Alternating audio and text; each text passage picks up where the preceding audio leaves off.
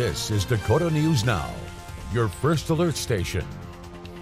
Good evening, I'm Andrea Anderson. The current Codington County Detention Center is nearing the end of its life. That is according to the County Commission.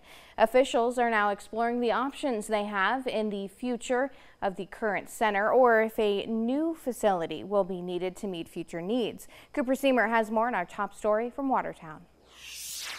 Twice the Codington County Commission has asked the public to approve funding for a new county jail, and twice that vote has failed. But the commission still recognizes the need for a new county jail, especially as the current detention center is almost 50 years old.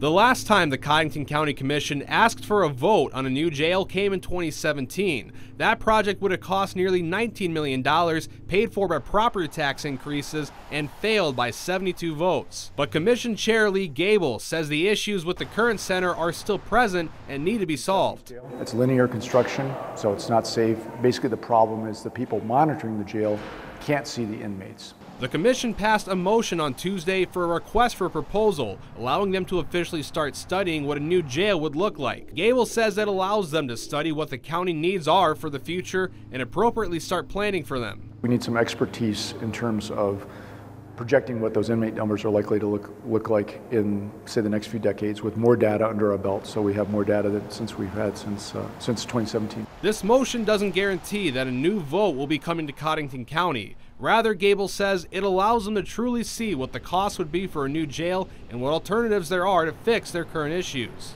We're getting a little concerned because it's been six years since 2017 when we knew what the cost was going to be in that $18 million range. You know, now, now we'll have to see. Gabel says the next step for the commission is to hear back from firms for their proposals, which are due by January 17th. In Watertown, Cooper Seamer, Dakota News Now.